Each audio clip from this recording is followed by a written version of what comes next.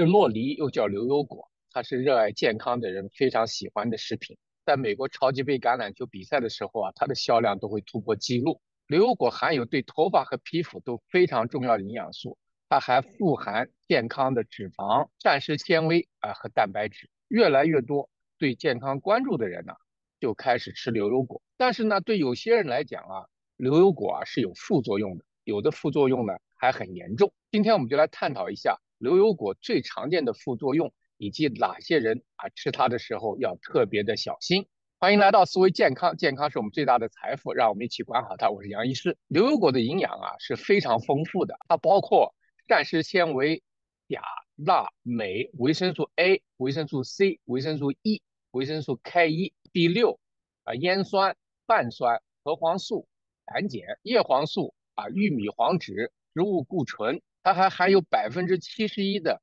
单元不饱和脂肪酸百分之十三的多元不饱和脂肪酸和百分之十六的饱和脂肪酸，它能够促进我们健康的血脂状况，也能促进一些需要脂肪来溶解的啊营养的吸收。临床的研究发现啊，它对我们心血管健康、对我们的体重的管理以及抗衰老呢都有重要的作用。所以呢，对绝大部分人来讲啊，牛油果应该是我们平衡膳食里面的重要部分。但是有些人吃牛油果呢，就要特别的小心。那么哪些人呢？首先呢，就是怀孕和哺乳期的女性呢，不适合吃，它会对乳腺啊造成影响，减少产奶。如果哺乳期吃用大量的洛梨的话，宝宝啊可能的胃部也会啊不舒服。第二种人呢，就是对乳胶过敏的人，特别是一些中年女性，她们的工作啊接触到乳胶，在乳胶方面呢表现出过敏的反应。同时呢，他们也经常对其他的啊食物，像啊栗子啊、香蕉啊啊等等，也容易出反应。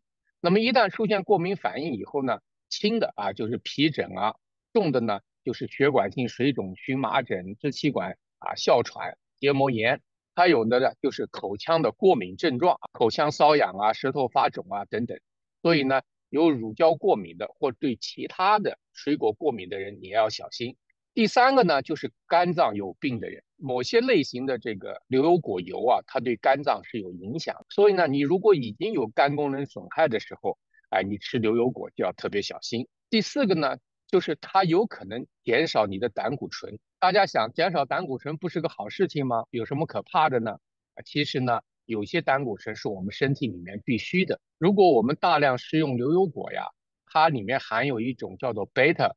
固载醇的东西，它会影响我们体内吸收必须的胆固醇。第五种人呢，就是在节食的人，你在减肥啊或者节食的时候呢，牛油果的摄取量就要控制，因为呢它的热量很高啊，吃多的呢就会增加体内的热量。但是牛油果含糖非常少啊，含碳水很少，所以它不会造成血糖的飙升啊，在这一点上呢，大家不用担心。那么最后一条了，就是消化道的问题。我们有些朋友啊吃了牛油果以后呢。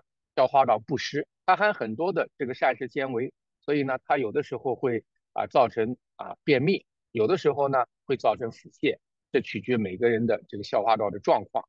所以呢，如果出现这方面的问题呢，啊大家也要警惕。我们小结一下今天的重点，第一呢，就是牛油果非常健康，它应该成为我们大家平衡膳食当中的一部分。但是，怀孕和哺乳的女性要尽量避免吃。牛油果，节食的人呢也要少吃，因为它热量很高。第三呢，如果吃暴饮暴食啊，或吃大量的牛油果呢，有可能引起肠道的问题和肝脏的损害。第四呢，也是很重要的啊，就是容易过敏的人啊，你在吃牛油果的时候呢，要特别的小心，要及时呢考虑到牛油果可能造成的各种各样过敏的问题。药食同源啊，所以我们很重视啊，食物呢对我们健康的作用和副作用。如果您在这方面有什么高见和体验呢，请在留言区跟我们分享。也欢迎大家啊把这个视频转发给你的亲朋好友，希望对他们有所帮助。端倪世界，守护健康，我们下次节目再见。